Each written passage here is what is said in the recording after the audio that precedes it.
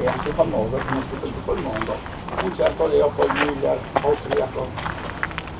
Viene qua, fa i suoi rilievi, affiancato appunto da Edoardo Semenza, e non solo avvalora la tesi di Semenza, ma l'amplifica. Per lui poteva staccarsi una massa dai 100 ai 200 milioni di metri cubi.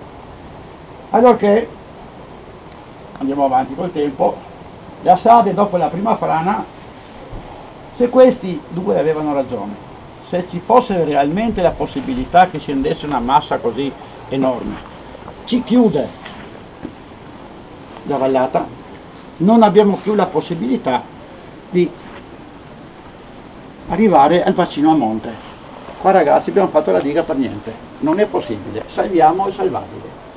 Scaviamo un tunnel che poi verrà appunto chiamato bypass andiamo verso monte per un paio di chilometri, se questa benedetta frana scenderà, si appoggerà sopra il tunnel, ci rimetteremo valore di tutti i milioni di metri cubi a valle che non abbiamo utilizzato, ma almeno l'impianto, seppur ridotto, possiamo consegnarlo all'Enel o allo Stato come volete.